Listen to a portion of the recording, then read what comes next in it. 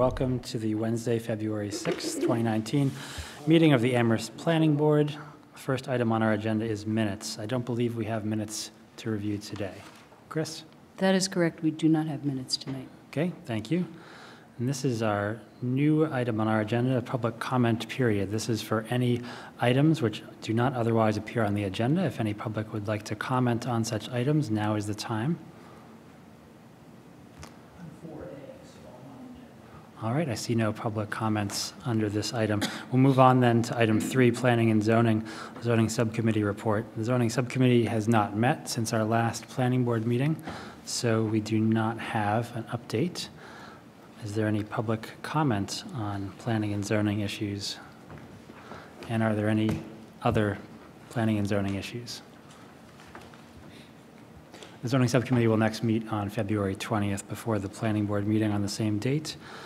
Next item is four, old business. Item A, this is SPR 2014-00006, Amherst College Service Building, 40 Dickinson Street, review of vehicular and pedestrian circulation plan as required by condition number six of site plan review decision. Welcome. Well, thank you very much. Um, I'm Aaron Hayden. I work in the Facilities Department at Amherst College. Uh, Really, I have very little to add to what you, the material you have in your packet already. Um, Basically, four years ago or so, uh, this board put a couple of requirements onto our project. One of them was that we would look at it again four years hence, which is now. So um, while I haven't anything to add directly, I'm here to answer your questions if you have any about it. Thank you so much. Are there any questions from the board? Chris? I just wanted to note that I did invite Matt Cornell, who owns the property um, just to the north of this property. I let him know that this discussion would be happening tonight and invited him to come, and I don't see him in the audience. And he did not write back to me that he had questions or concerns.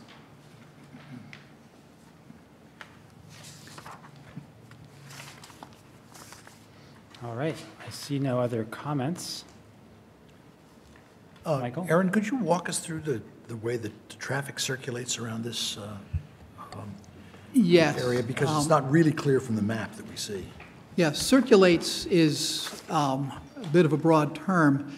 Um, North of the, the building, there's a right-of-way, which generally we don't use. That is for the Whiting Oil folks to be able to get back to their, their terminal. Um, So when, I, I don't know how often that is. I've, I've, actually, I've never seen a truck back there. I'm not sure they're using the tank anymore, but that's, that is why that way remains. On the south side of the building, that is where um, our folks come in the morning and park, and um, some of the trucks, well, most of the trucks um, are serviced or start there. And so the southern driveway, the wider one, is where the trucks come and go um, as they're going across College Street to service the campus. Uh, Really, that's, that is the circulation. This is not connected to the parking lot on the corner at all, is it? There's a, um, what's not shown on the plan is a, an informal gravelled path between the parking lot and the, um, the parking. Um, Let me look, see what I sent. Um, Oh, I'm sorry, so the, um, I sent a drawing, the one labeled January 2019, yes, exactly. Um, You can see there's a, sort of a white piece that connects the two parking lots. That's an informal gravel path. Mostly that's used by the, um, the, I- I- we call them gators. They're, they're not, they're made by all kinds of different companies, but they're the small utility vehicles. They're four-wheel off-road vehicles that we use to plow our sidewalks and to carry the sand for the uh, custodians. Um, the, that's the only thing that that's used for, is road, uh, for vehicles which are not licensed to go on the road. So in order for those gators to get from 40 Dickinson Street to the campus. They're allowed to cross the road, of course, but not, not to travel on at any great distance. So that's kind of a back way for them to go. So I don't see any issues with the plan myself. I do have some questions. I believe, Mr. Hayden, you mentioned that had, the condition was four years from the issuance. I, I don't remember the time exactly. Right. But so I'm, I'm, it's been four years, so I'm guessing that's about the amount of time. I believe, so the, the condition says three years, and number seven, condition number seven also says three years, and that would be um, asking the applicant to submit a landscape plan to this board. And if I go by the filing date of the record of decision, it's actually been five years. So I'm just curious what might have prompted this uh, submission, and also if we did in fact receive the submission mentioned under condition seven, that in three years, if the use of the property does not change, the applicant shall submit a landscape plan to this board for review and approval. The, um, I, I don't know, um, I, I, the reason I'm here is that uh, Ms. Brestrup gave us, gave the office a call and said, by the way, this needs to be done. And that task fell to me to do. And the only landscaping that has been done is the green space that you see here. Um, The, um, so one of, one of the things that has changed, that is different now than then, is that the um, Dickinson Street has been repaved. And as part of the repaving, you know, this, this landscaping was changed and made this way. And uh, the road was narrowed and the sidewalk widened and some other things like that. So this is, I'm going to, um, I'm going to offer this as our landscaping plan. The green stuff is where the landscaping is that faces the, um, the- the road itself. So that, the big green rectangle there, it's green. Great, thank you for that. Chris? Um, In your packet, you had a letter from uh, Jonathan Tucker, um, and he stated that on March 5th, 2014, the planning board did review a lighting plan and a landscape plan, um, and approved those two. And reference was made to conditions eight and nine, but I'm thinking um, that this landscape plan, if if nothing is changing, may um, satisfy the requirement of number seven, the landscape plan that was uh, approved back in 2014. That's for your consideration. So should I take that to mean that the board will not consider this new submission a revision to the landscape plan? The landscape plan was in fact previously approved, and although it was noted as satisfying condition eight, you, Chris, believe it satisfied condition number seven at that time? That is for your consideration. Um, In the interim, three years have passed, and if you feel that the landscape plan that was presented back in 2014 is adequate, three years later, I would say that you could um, approve it as satisfying the condition seven. Approve the prior landscape plan? Yes. That's correct. Thank you. All right, any further comments or questions from the board on this? If there are not, I'd entertain a motion to approve the vehicular and pedestrian plan as submitted. So, so moved? Thank you. Uh, Mr. Birtwistle moved and Ms. Gray Mullen seconded. Uh, Motion has been made and seconded. Is there any further discussion? If not, all in favor? And that's unanimous. Thanks so much. Thank you very much, and good luck. Thank you.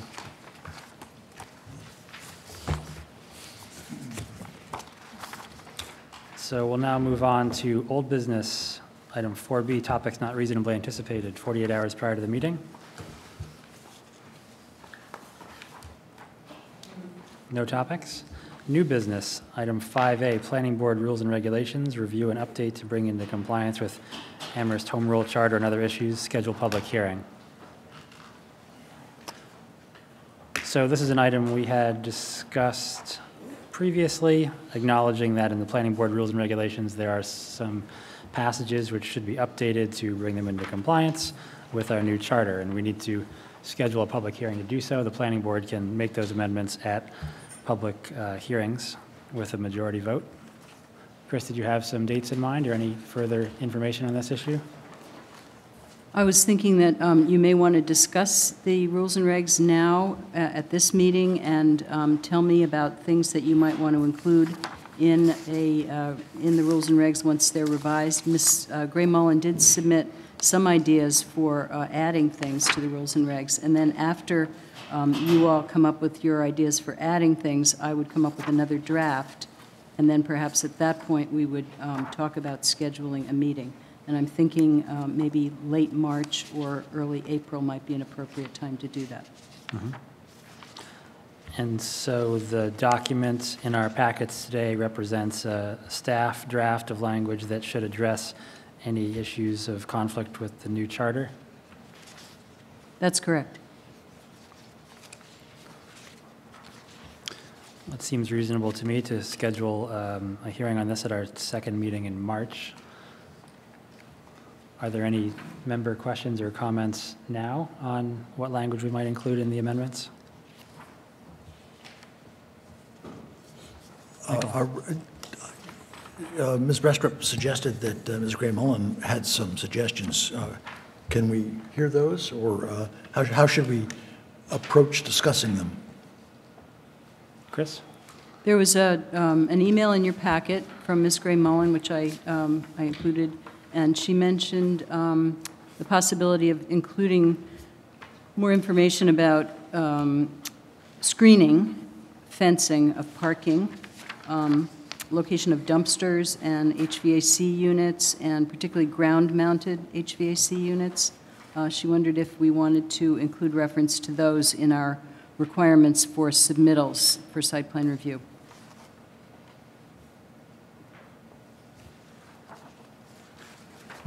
Christine? Um, I also mentioned the design uh, review board said appointment of three years, and I was just pointing out that some of the planning board appointments aren't even that long, so maybe two years would be better.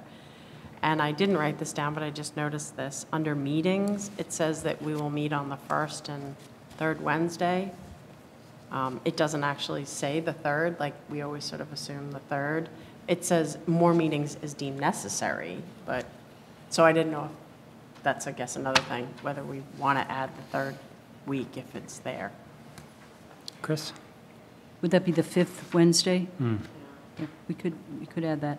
Um, With reference to the design review board, um, that would have to be a zoning amendment if you wanted to change the um, number of years that the design review board is appointed for. It wouldn't be in the planning board rules and regs, because they really don't, um, they don't operate under the same rules and regs that the planning board operates under. Did you find something in the rules and regs that referred to the design review board's um, term? Thought it was referring to just the planning board um, appointment to the, to the DRB, not anything to do with their membership, just. I think the point Chris may be making is that, so I think you're right, Christine, that that could be seen as falling under Section 5 of the Rules and Regs, Planning Board appointments, but if I'm not mistaken, the composition and length of terms of the DRB members is also mentioned in the zoning bylaw, and so that's the change we would have to make.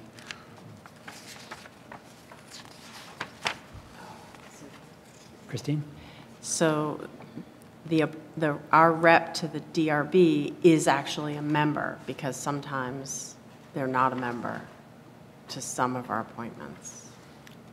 Some of our other appointments to other bodies, you mean? Yeah. That's, that's correct. So I guess that's what makes the difference, that you're actually a member of the DRB when you come from us? Is that we're? So we have to apply to their rules?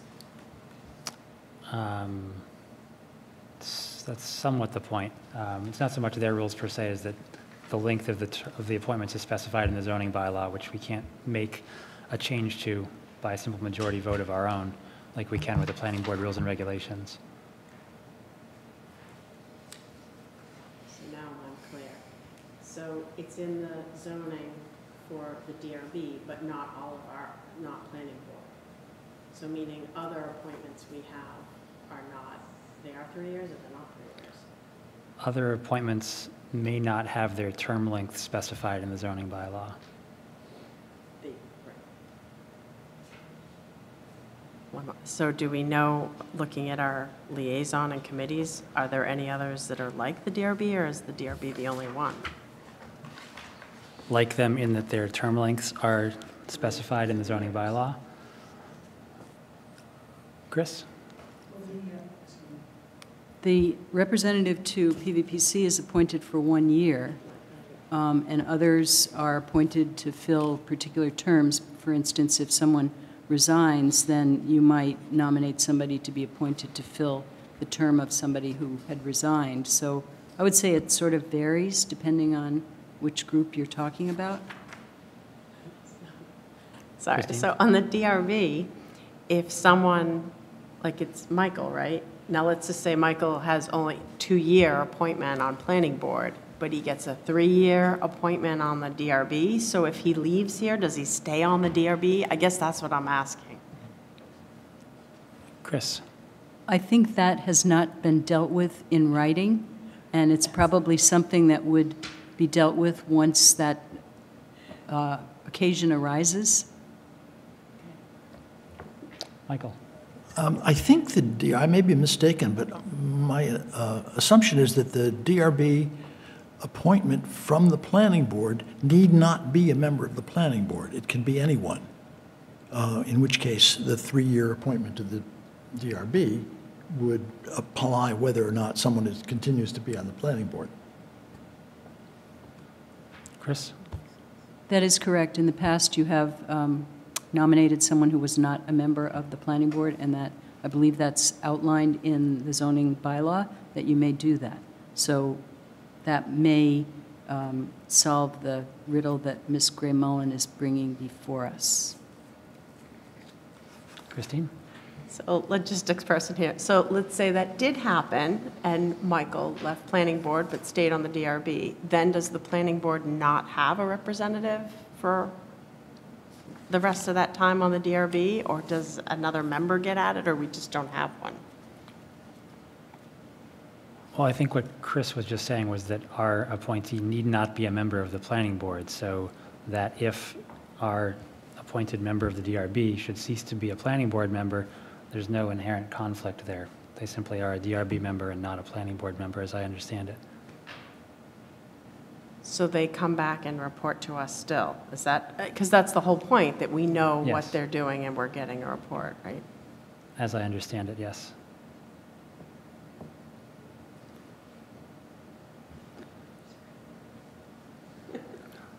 Chris? So usually when things like this come up, which we don't have a clear answer to, um, the planning department uh, consults with the town manager and um, figures out a solution and often um, consults the town attorney. um, If it's, if it's not really clear which direction we should go. So I would say that's probably what would happen. And then we would bring it to you for explanation or questions and concerns. Okay. Other comments, questions, suggestions on the rules and regs? Yes, David? Can we look at the voting requirements section and just make sure that at least I understand it? Because it seems a little, and I'm tired, so I, I, I, I- I may just be confusing myself. What section Page is number? that? Oh, it's on page 14. Sorry, section, section two? Yes, under Article 4, on page 14. Second to last page. Page 14, sorry, Chris.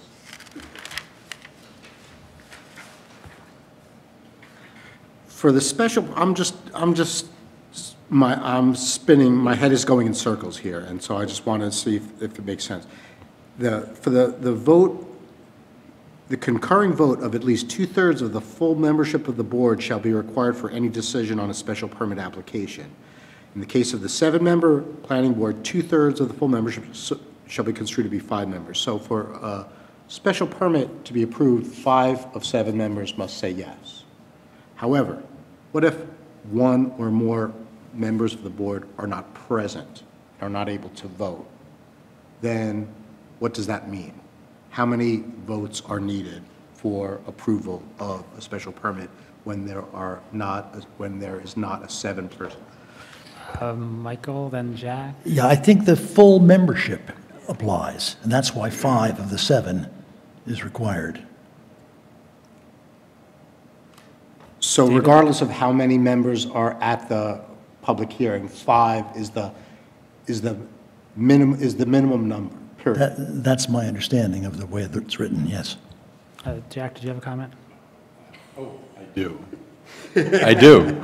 Um, What about the provision where you watched the, uh, the, the meeting?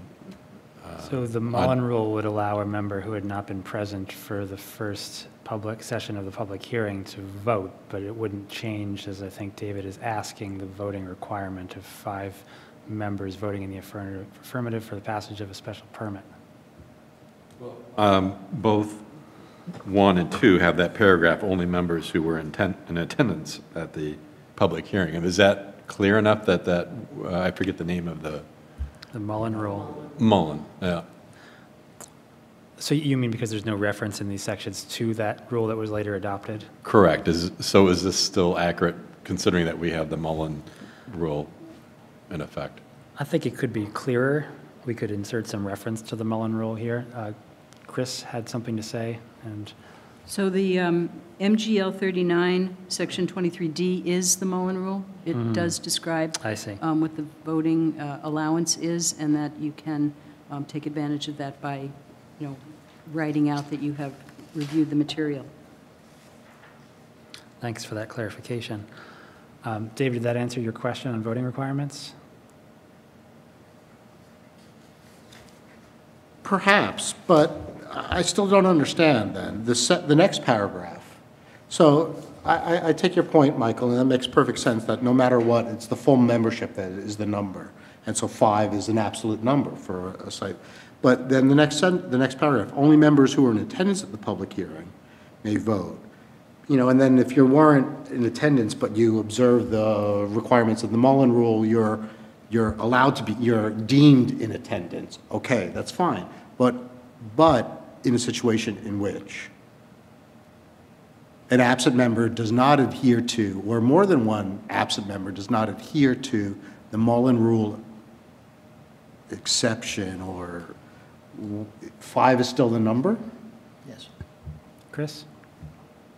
You have to be present to vote. Does that help to explain it? You can miss one session, but you have to be present to vote. In, in other words, you can't vote by phone on the Mullin, on, the- using the Mullin Rule. Nah, I'm not, that's not, that's not my confusion. I think it's just my confusion, and I'm ready to sort of live with that. I suppose, you know, I can understand where your thought is coming from or concern. For instance, if we were to be short a member, um, full membership of the board, so say we had six members, in that case, the voting requirement would change? Or is full membership meant to mean the full potential membership? Chris? In the past, the rule was that you had to have two-thirds vote, but in no less than six. So when you had a nine-member board, two-thirds was six, and that, that was it, right? So that um, is a parallel situation to this. Two-thirds of nine is six, two-thirds of seven is five if you round up. So you have to have five members voting in the affirmative to approve a special permit. Okay. That's- Michael? that's- That's fine. David, if you finish, if you. No, no, no, I'm, I'm, go ahead. I- I would like to suggest that uh, the requirements under B, site plan review, revert to the uh, original two-thirds, um, instead of changing it to majority, as we we have presented to us, uh, but retain the not fewer than four, as opposed to the not fewer than five. Um, And add at the end of that three-line sentence, the same three, two-line sentence that ends the special permit. That is to say, in the case of seven-member planning board, two-thirds of the four-member membership shall be cons- construed to be five members.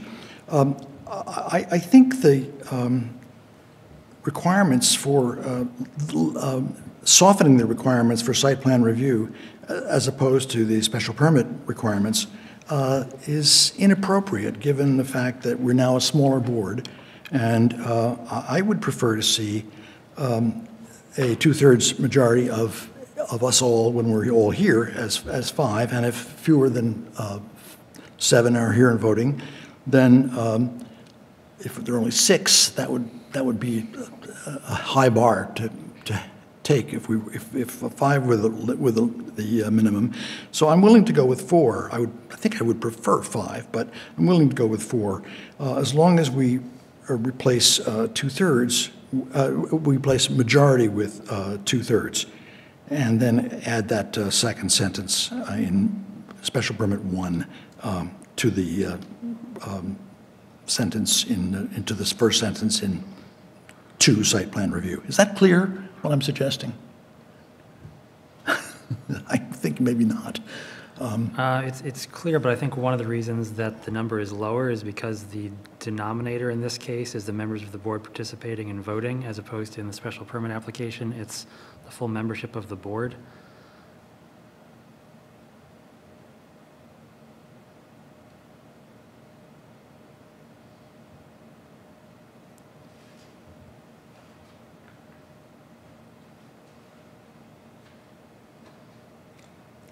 Well, if, um, if all seven members of the board are participating, a majority means that four members of the board can decide.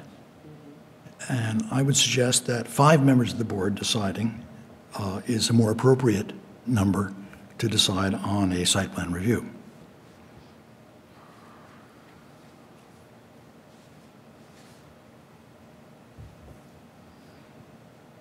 Christine? Can I just ask, why did it get changed from two-thirds to majority?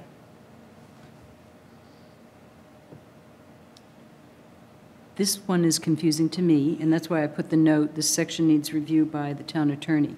The way, this section needs review by the town attorneys. This section is confusing to me. So I, um, I know that in the past, we have said there has to be a two-thirds vote and no less than five for um, a nine-member board. So if we have no less than five for a nine-member board, I was thinking, well, we should have no less than four for a seven-member board. And then I wasn't really sure what to do about the two-thirds or the majority. So the majority is offered to you as a, um, as a, a way to deal with this, but if you disagree with that, you can go back to two-thirds. So it's really up to you. This is your rules and regulations. You, you decide. But I think we do need some uh, input from the town attorney. Michael? Uh, Do we still need input from the town attorney if we remain with the two-thirds as the number? Chris? I'm going to ask the town attorney to review this anyway, once we come up with a draft that you all are comfortable with. So, um, yes, either way, I think that we're going to go back to the town attorney and have him look at this. So, Chris, is that to say, when you're suggesting that once there's a draft that we are all okay with, you'll pass it on to the town attorney, that, are you suggesting that we have another session of reviewing this prior to the public hearing being held, or are you talking about the work we do at the public hearing? Yes.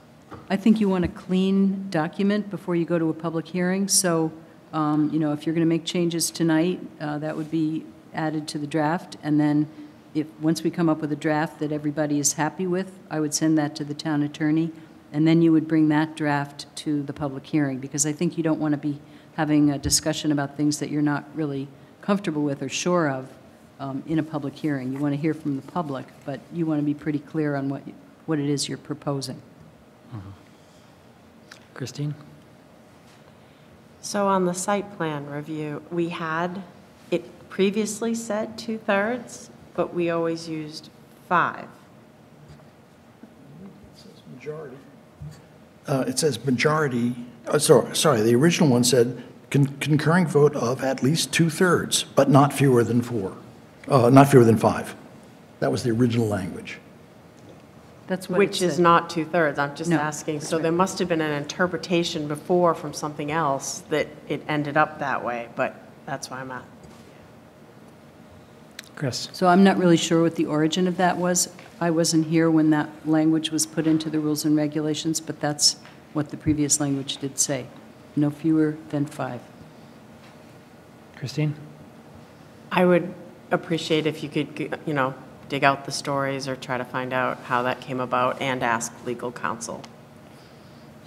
And if this comes from some kind of planning board um, standards.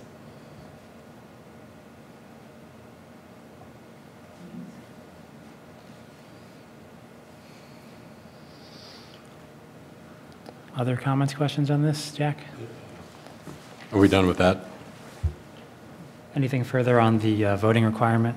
I, I would like the planning board to, we're all here, all seven of us, uh, and to give uh, Ms. Brestrup some uh, uh, sense of what the board feels like about whether we want a majority or a two-thirds uh, plurality uh, on uh, site plan review. Uh, I'm, I'm quite adamant, not adamant, I'm not in a position to be adamant. I'm, I'm firmly convinced that a two-thirds majority is appropriate for the kind of major decision that a site plan review involves. And I think we should have that number stated, whether it is uh, moved to four or five uh, in terms of a, of le- less than a full contingent of the planning board voting. Uh, I'm less concerned about that. But I think if there are seven of us here, it should be a two-thirds majority, which is to say five, rather than a majority, which is to say four. Uh, And I would hope that we could uh, either agree that, that two-thirds is the appropriate number, or majority is the, is the appropriate number, and let Ms. Brestrup know about our feeling about this uh, before she consults with the town attorney. Jack? Uh, I was curious, Chris, uh, with regard to the ZBA, they are now five? And what, um, in terms of the permits that they extend, what is the situation for the majority versus two-thirds majority? Chris? So they don't have something like site plan review. They have special permits and variances and comprehensive permits and appeals from decision of the building commissioner. Um, So most of their um, requirements are for two-thirds. Um, But in the case of comprehensive permit, it is less than that. I'm not exactly sure what it is, but they don't have such a thing as site plan review. David? I appreciate um, wanting to come to some sort of, or or what I what I would propose, what I would feel more comfortable with for the, is to, and I don't have them with me now, is to have a chance to look at and think for a moment about what the zoning bylaws say about site plan review and about special permits, because it's my sense, but I want to confirm that, or feel comfortable with that sense, that a site plan review has a lower level, lower threshold for approval than a special permit. And that makes sense, and if that's the case, then I, I would, it makes sense to me that there are different uh, there's a different requirement for approval. Um, And I, I could see, Greg, that you're pulling him up, but being tired and a slow thinker, I'm not quite sure if I'm going to be able to sort of, I- I feel more comfortable if perhaps we could, having had this conversation, revisit it at the next meeting, and then come to sort of a more informed rather than rushed uh, uh, uh, deliber- deliberation on it. Christine? I would appreciate hearing the history of how this evolved and, or if there's an error or, I, I just, I would need more data before really determining which way I feel. Chris? The zoning bylaw does state um, that with the current, uh, with the previous makeup of the planning board, that the concurring vote of at least two-thirds, but not fewer than five members of the board, shall be required for any decision. So this would have to be changed if you were to change your um, rules and regs. This probably has to be changed anyway, but I'm not sure if it's one of the things that the bylaw review committee picked up on, and I should probably check that. So I will check that. Sorry, is that the site plan or the special permit section of the zoning bylaw? Chris? That's the site plan section. Um, It's section 11, and I can give you an exact um, reference.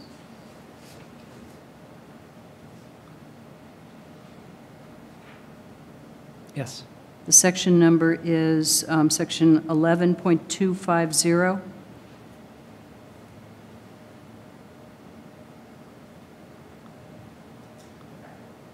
And we don't happen to have a copy of the amended bylaw or the changes that were in process to the bylaw based on the bylaw review committee's recommendations? I don't have that here, but I could possibly put my fingers on it. Um, It's probably better to uh, wait for the next um, meeting, though, rather than having me fumbling around in my office trying to find that. I'm sorry I didn't bring it tonight, it didn't occur to me. Okay, so I, I do agree that we should have that information ready the next time we discuss this, which would be ahead of our public hearing on the issue in late March. Would members like to revisit this issue at our very next planning board meeting? All right, so I think I'm seeing some nods. We'll put that on the agenda for the 20th. Chris? And did you want me to draft uh, something with regard to Ms. Gray Mullin's um, comments on screening, HVAC, and uh, the other items that she brought up in her email? Yes, please. Um, And I did have one other item I wanted to look at, which was uh, Article 5 on page 15, expedited review. Is that something, Chris, that has been used in your experience?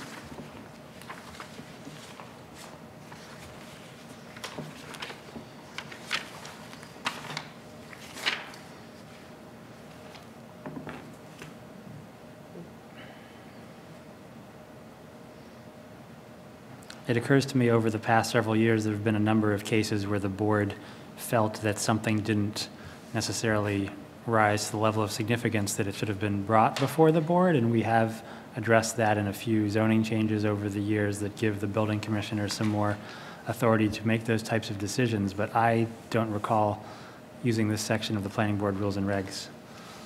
Chris? I would say we often don't wait the full 65 days that you're given to um, review something after it is filed.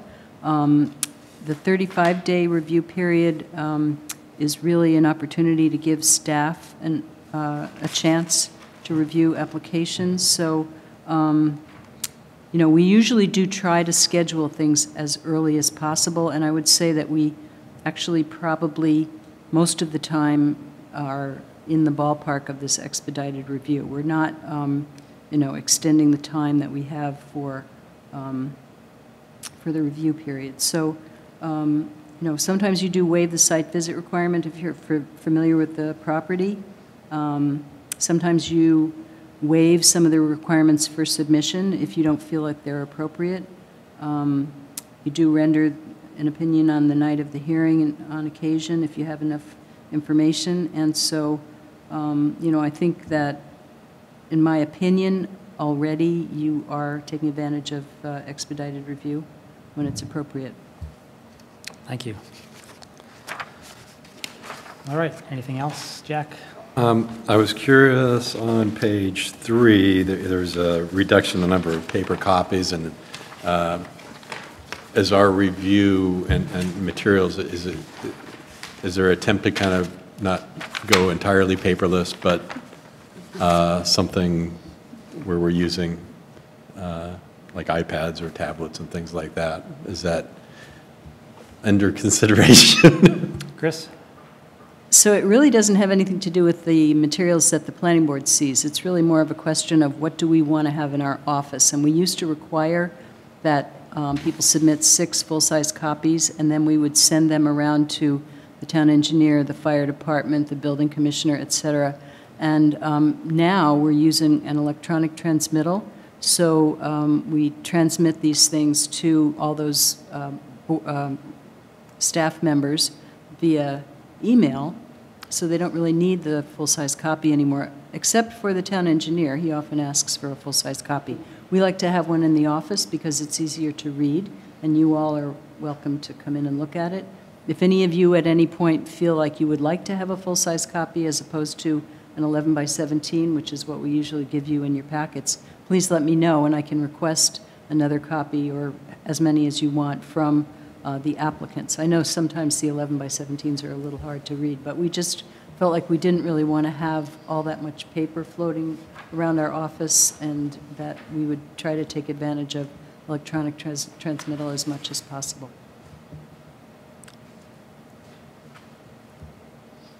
All right. Anything else on the rules and regs? Okay, so we'll revisit this at our next meeting. Moving on to the next item on our agenda, this is new business 5B, PVPC, request for comments on the top 10 resolves, which we discussed at our last meeting and are included again here. Has there been any uh, movement from PVPC? Our representatives to that group have any updates on this? Jack, Christine? No? None. Okay. Any comments?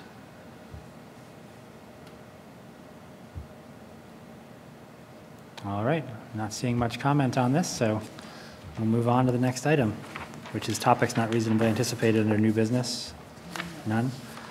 Are there any Form A A and R subdivision applications? No Form As.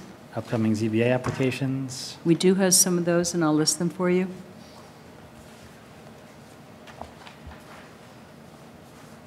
I think you know that Hickory Ridge is uh, going before the ZBA. They were planning to um, go before the ZBA tomorrow night, um, February 7th. However, because of uh, some information that's still missing from their application, they've asked to have the hearing open tomorrow night and continue to March 14th. So if the ZBA uh, agrees with that, then that's what will happen. Um, Then we have the Herbology Group, which is a group that is uh, proposing to sell medical marijuana and um, marijuana for recreational use at the Rafters site on Amity Street. And they, I believe, are coming before the ZBA tomorrow night. Uh, We also have um, Mass Alternative Care, which is another uh, marijuana retail and medical um, establishment, and they are um, preparing their application and will be submitting shortly. Uh, They're going into 55 University Drive, um, where the, the hangar used to be. So those are the ZBA uh, applications that I know about. Thank you. Michael? Clarification on the uh, Hickory Ridge uh, application. The entire uh, discussion of that was postponed until March 14th, is that correct? Chris? That's what the request has been, and I understand that the applicant is, is not proposing to make a presentation tomorrow night, but is um, hoping that the ZBA will agree to continuing the public hearing to March 14th, and I, I believe that they will um, approve that. Jack? Uh, What was the outcome of the Conservation Commission, the, the second hearing with them? Chris? Um, They're going back to the Conservation Commission. There are still some outstanding items. I think, um, you know, flooding of the, of the pathways is one of them. Um, The issue of the wildlife, um, the endangered species and the accommodations for them and uh, some other issues. So uh, they're going back to the Conservation Commission, um, I'm going to say in sometime in March, like perhaps March 13th, but I'm not exactly sure. I can find out that information for you. So they haven't closed the public hearing with the Conservation Commission. All right. Are there any upcoming SPP, SPR, SUB applications? Chris? Yes, there are. Um, We have one application from uh, the Wagners on Northeast Street. They would like to establish a farm stand in one of their barns and um, increase the size of the barn. Uh, They are missing some information in their application, so we've asked them to go back and, uh, and look at those things and um, submit more information. We have another application from the Emily Dickinson Museum, uh, which recently bought a property on Triangle Street, right next to the Emily Dickinson Museum property, and they're proposing to turn that into offices for the Emily Dickinson Museum. Uh, We have Amherst Media, which has just submitted an application to build um, their uh, studio building, um, along with some offices on the two properties along Main Street um, that are just opposite where Elements Hot Tub Tub Spa is, those two properties that were uh, carved out originally.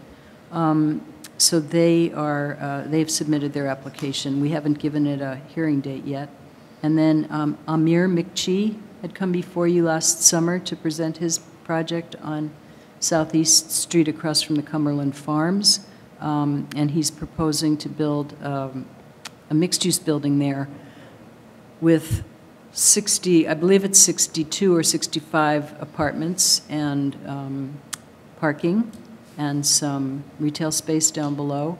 Um, He's been to the Conservation Commission and been approved by them, so he's kind of refining his project and will be coming uh, to see you relatively soon. He's also proposing some work in the public way there. Uh, He's proposing a little plaza right by where the bus stop is, and um, so, you know, there's more to the project than just what's on his site, so it's kind of interesting project. And then two other things, um, scenic roads, Amir McChee is also proposing to take down some trees in front of his property, so he'll be coming to you with the scenic roads public hearing for that.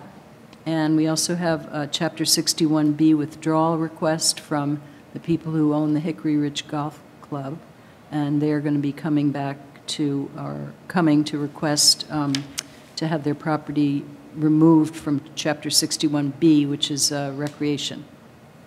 So I think that's, oh, then there's one more thing, a sign that's going to come to you for a new restaurant where Wings used to be by the Big Y um, uh, grocery store. So Those are all things that are going to be coming before you. Do we expect any of those to be before us at our next meeting? No, Michael? Chris, uh, the, uh, according to my calendar, the uh, Conservation Commission is meeting about the Hickory Ridge project on uh, the 14th, uh, I'm sorry, on the 13th of November, is- uh, of February. Is that incorrect now? Chris? you're probably correct, Michael. I'm sorry that I said March. I think it is February. Well, if they are in fact postponing the uh, hearing for the ZBA, they may well be postponing the hearing for the Concom as well. I don't know. Chris? I think um, some of the material that they were missing for the ZBA is not relevant to Concom, but I could be, I know that some of the things are relevant to Concom, so I don't know if the Concom is um, also going to be continuing their public hearing again. I don't think so. I haven't heard that from uh, the staff person for the Conservation Commission, but if you'd like me to find that out, I will. That's okay, I'll keep track of it. All right, thanks for those updates. Uh, Next item on our agenda is nine Planning Board Committee and Liaison Reports, PVPC. No update, Chris? No update. I wanted to bring up something that Mr. um, Jemsek brought up last time, which is the Healthy Aging Program that is being promoted by um, AARP, and I had something written down about that. Um, They're promoting something called Age-Friendly Community Designation, and several communities in Massachusetts, actually tens of communities in Massachusetts, including Northampton, are um, proposing to apply for this age-friendly community designation. And it has to do with a lot of different things like programming, um, uh, transportation, uh, handicapped accessibility, et cetera. So um, I do have a document here. If you're interested, I can um, send it to you. There are several links. I'm not sure if I sent you the links or not. But anyway, um, it's something that I'm going to be talking to the Council on Aging about on, actually tomorrow morning. Um, and uh, trying to see if they wanted to partner with us, with the Planning Department and the Planning Board, on um, examining whether we wanted to be an age-friendly community. My sense is that we probably do. I don't know what all the ins and outs are of the application process, but it seems like a, a good, um, a good thing to do, a good thing to be, uh, especially given the aging of our population and the fact that we have become somewhat of a magnet for um, people who are retired. They really find that Amherst is a nice place to move to after they retire. I, I appreciate that. I had forgotten, but I, I was kind of moved by that, by the presentation of the gentleman with the, the, is it healthy, healthy aging? It's the Healthy Aging Collaborative and Age-Friendly Community Designation. But I hope we move forward with it. Seems like a good thing. Would that be something that the planning board need act on, or does it require being ratified by some other body in town to move forward with that designation, Chris? I'm not exactly sure what all the ins and outs are. I know that you have to get um, approval from the elected officials, um, but I would think that they would want to hear from the planning board about this process. So uh, hopefully, the next time we meet, I'll have more information on exactly what is involved with the application process. And having spoken with the Council on Aging, I'll have a sense of whether they want to partner with the planning board on, on this effort. Is it something that you think you'd be interested in? I think we absolutely like to hear about the process and what it involves. Great, all right, thanks for that. Uh, Next is Community Preservation Act Committee, which, like the Ag Commission, is vacant pending an appointment, I believe. Um, Do we expect the council to be acting? It is the council that would act on these nominations? Chris? So I was in a meeting with um, the town manager last week, I think, and he was very interested in um, making sure that the applications, or excuse me, the appointments were made to CPAC. Um, And so I, I believe that that will go ahead because uh, the comptroller is eager to hold the CPAC meetings and, and get those recommendations underway. I have a related question for, to that, and um, Chris, I'm not sure if you would have the answer, but it's with CPAC and our new form of government, do they plan to change their cycle, which in the past had been built around town meeting and making their recommendations at spring town meeting and receiving fundly, funding a month or two after that? Uh, Do they plan to keep the same cycle that they've had in place with the new form of government? Chris? So there has been some discussion about that, about, about whether they want to keep with the, um, the springtime um, voting in of the CPAC projects. Um, I think for now, that's probably the track we're going to be on because the town council is considering budget items this spring, and they're thinking that they will consider zoning items in the fall. At least that's the general trend of things, but I think that um, the topic is still open as to whether that will carry forward into the future, or whether CPAC will become more of a, you know, every month, uh, there will be a consideration of, of some projects. I- So for right now, yes, they're keeping with the spring um, term, but it may change in the future. Thank you. All right, Design Review Board. We have, the Design Review Board has not met since I last reported its activities to the planning board.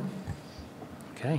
Uh, The same is true of the Affordable Housing Trust and the Zoning Subcommittee and UTAC. Christine?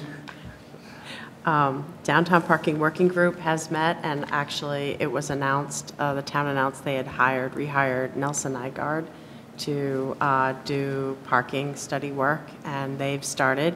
And last week, they held some stakeholder meetings, and there'll be public meetings coming. And that's all for now. I did have a question on that. I believe I read in the Gazette or an online publication that specifically included in the scope of that consultant's work was assessing the need or feasibility for a new parking structure. Is that the case?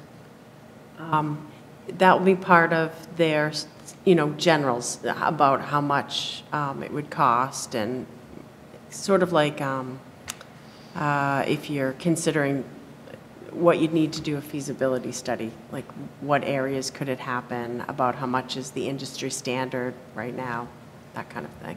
So they're trying to do an awful lot of work on, of course, a small budget, but that is part of it. Great. Thanks for that. Um, Report of the chair? No report. Report of staff? I don't have a report. Okay. Then we'll be adjourned. Thanks, everyone.